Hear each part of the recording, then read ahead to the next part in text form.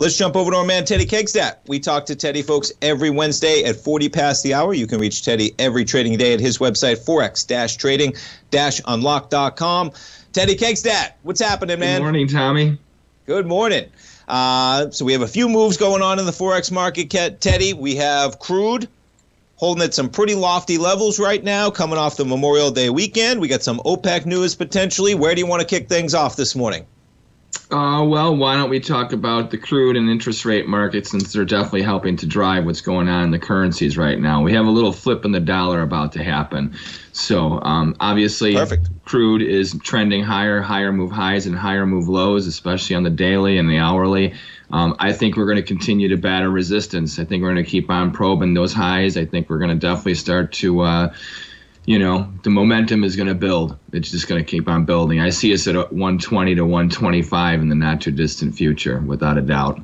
So yeah, I got the chart up on a daily. I mean, we just got above those recent highs, right? The only thing on that chart really is that initial spike to 130. Um, mm-hmm. What did we hit yesterday? Pretty close. Did we get to 120?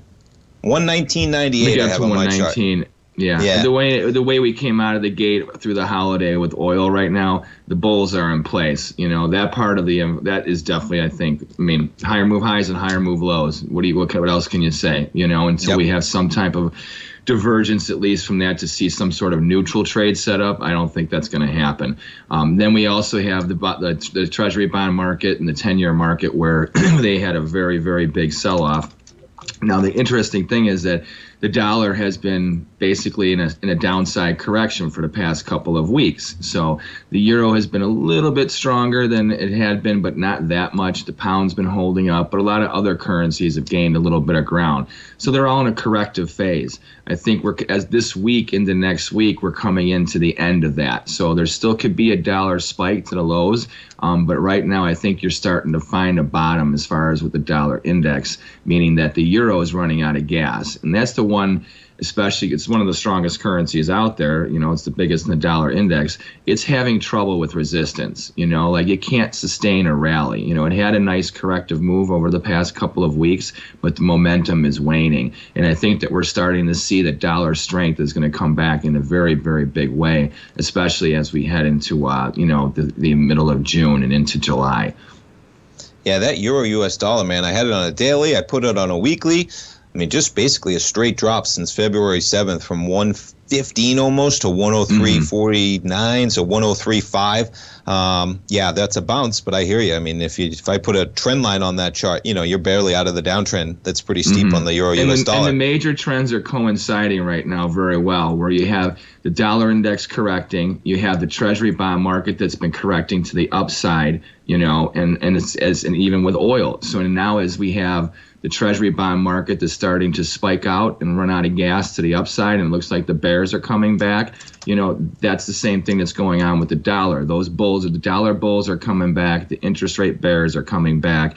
And as though if those two start to come together you know you're going to see bat definitely the euro is starting to collapse again. And the and the US dollar Swiss franc I think that's one to really watch out for because it came up, it went above parity and had a very big correction of, especially concerning if you look at most of the currencies, the yen and the and the and the uh, Swiss have corrected the most. Okay, and now I think yeah. they're going to go when they go back to the upside, they're going to make new highs. We're going to see the U.S. dollar Swiss above parity again. So that's a pretty good intermediate term trade. I mean, this is not going to happen over the next couple sessions, but I guarantee you, especially the Swiss it's not going to just trend and grind higher like a you know a quarter point over a day over the course of weeks when it's going to start to move. And then you're going to have a couple days where you're going to probably see like two basis handles without a doubt you know as it starts to get yeah. towards parity.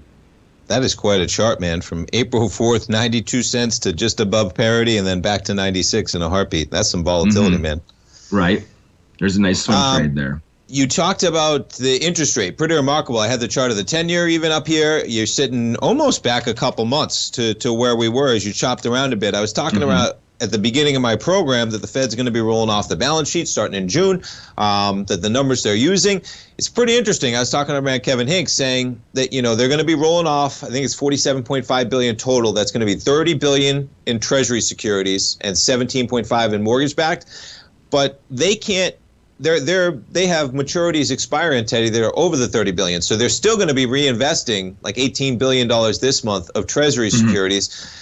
Do you see that baked in? I asked Kevin a similar question, you know, because it's an important one, right? As in, we coming down the line here. Do you see that baked in, or do you see rates potentially raising higher, rising higher as we come into a Fed hiking hiking cycle? And we got another meeting in two weeks from today. I think they announce.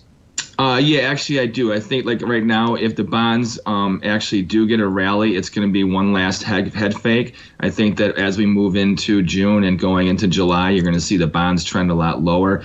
And remember, these expirations that you're talking about also coincide with futures expiration. So you're going to have futures, options, and cash deliverables expiring all at the same time. That's going to cause a lot of crazy volatility. And I, I would say probably from around June 10th to about June 25th. You know, like that that window of, of 14, 15 days, I think you're going to see a lot of erratic moves in the Treasury bond market. It's going to be really hard to gauge direction during that time because you're going to have an unloading of all these things. You know yeah. what I mean? So, I mean, and I know that's a dynamic a lot of people don't understand. We don't need to get in the mechanics of it, but that time frame of, of those expirations, especially combined with the cash, I think is really going to be a tough trade. So the trends are intact.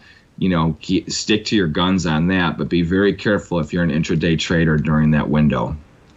Yeah, I found it amusing. I saw one article was talking about, I think maybe the minutes of the recent Fed meeting and saying that a couple of the Fed governors were uncertain of how that type of a roll off would go. And I say, if, if anybody says you're certain, man, you're crazy. How could you be certain you're rolling yeah. off something? You know, I mean, of course we right. should be uncertain. Anybody that tells you they know how it's going to go, you at least got to be prepared for for um, some unforeseen situations mm-hmm. when you're talking about that type mm-hmm. of a mm-hmm. roll off, man. Mm-hmm. Well, Teddy, we appreciate the time. We appreciate the conversation as always, man. And uh, we'll talk to you a week from today, man. Now, crude, uh, let's finish it up. So we're sitting at, we got about 30 seconds, Teddy. Um, yeah. Crude at about 120. You talked about it last week, saying, you know, playing this market mm-hmm. very difficult with the volatility. When I asked you, maybe looking at some of the currencies. Could you talk about that again for a quick 30 seconds for the listeners sure. that didn't check it out? How you might be sure. able to trade crude? Go ahead. Absolutely. That goes with the U.S. dollar yen trade, the U.S. dollar Swiss trade for sure. As crude oil starts to rally, you're going to see they're they're good. They're those that's giving strength to those two for sure. Be very careful with the U.S. dollar Canada. That's going to be very choppy